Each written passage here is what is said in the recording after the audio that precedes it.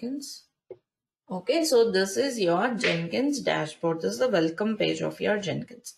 Okay, so yeah, now we are going to do lot many things here and Jenkins is very easy and very simple. Okay, but you need to understand what you are doing. That's all. It's from the UI. Everything we do from the UI. So you need to understand what each option is. It's very easy to learn. I'll also tell you how you can make Jenkins, how you can understand Jenkins very easily. Okay, first let's go with the very basic concept of job. What is a job?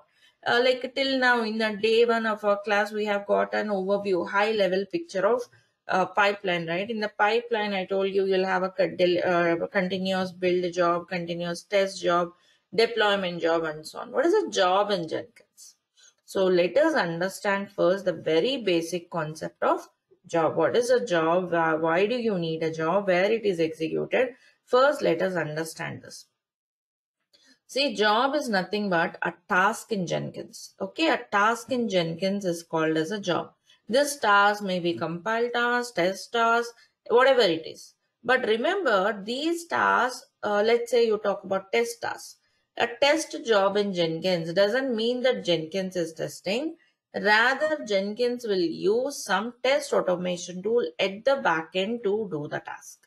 But everything is handling via Jenkins. Jenkins works like an orchestrator. Let me give an overview once again.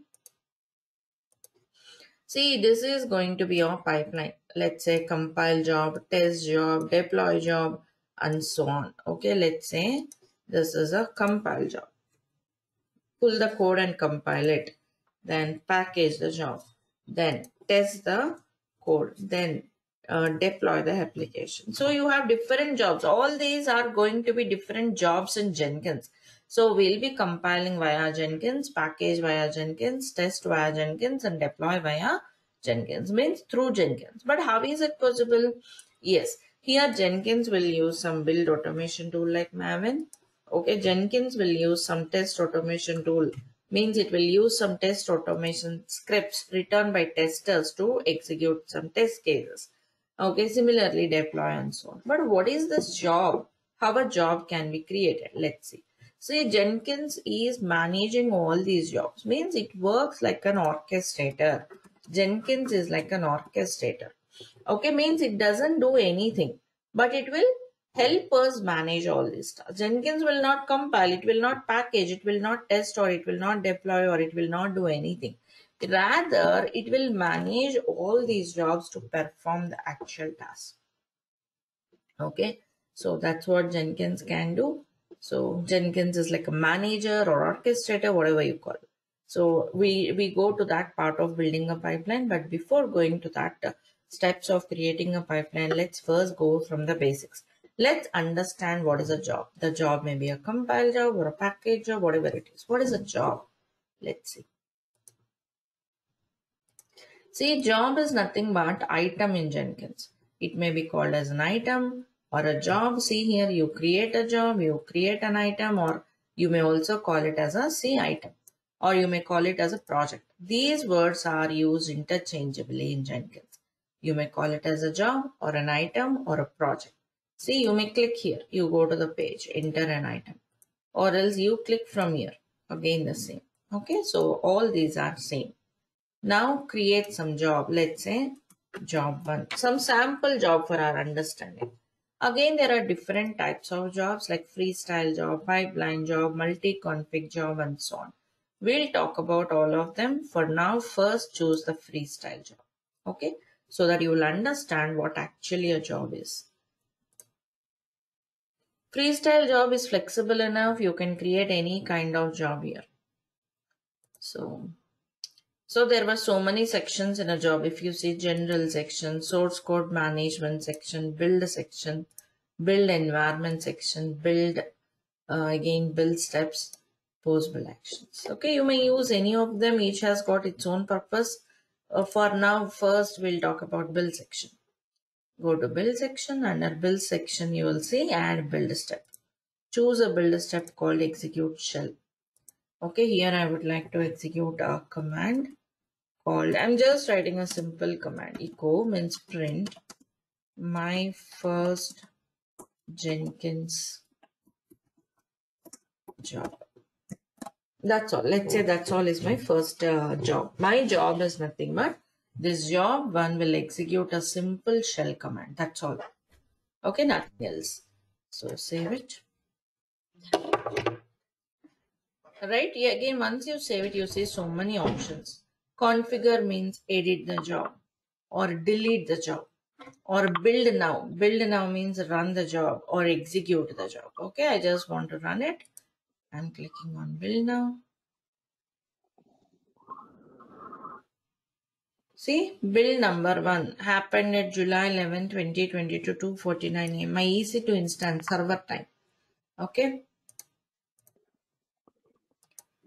So if you want to build now, again, there will be something like build to again the system time. You can have a build history. If you want to see the output, click on this console output.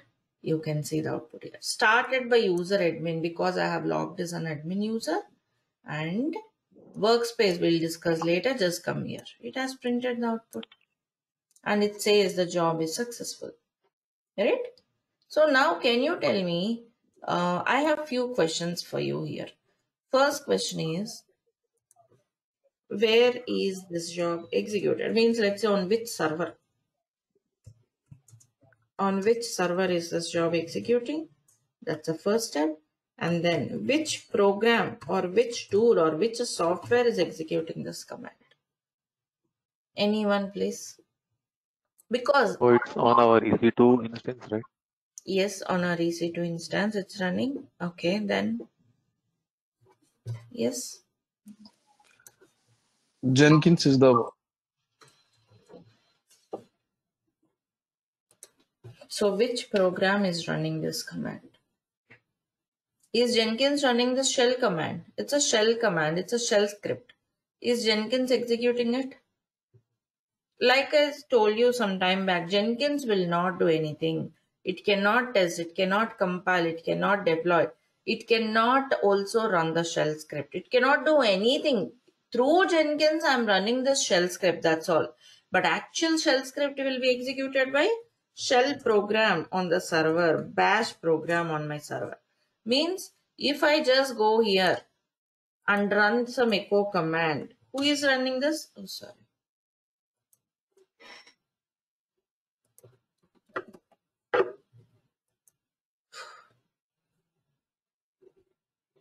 It is stuck up. Okay. So if I run some shell command here, how is that? Like who executes the shell command? Linux commands. Bash program. The same is the case here. Bash program on the server is executing it. Then why are you writing it? You may write from the shell com uh, from your command line. If I write from the command line, it's only one time use. Every time I should keep on writing. But if I write here, I could run this any number of times. Isn't it? Imagine that's a compiled uh, job. Means the job will compile. There is some script for compiling. Instead of you writing again and again, through Jenkins you will run it.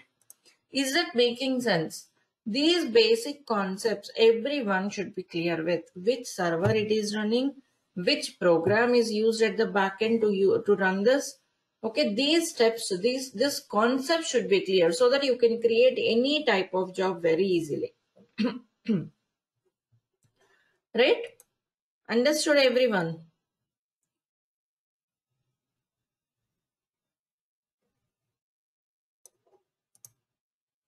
So this is how, this is what happens. If you just want to edit the job, go to configure.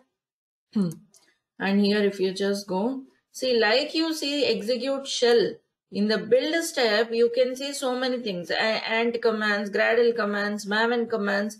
Why are not, not uh, seeing different uh, other commands? Yes, let's say I want to run Python script.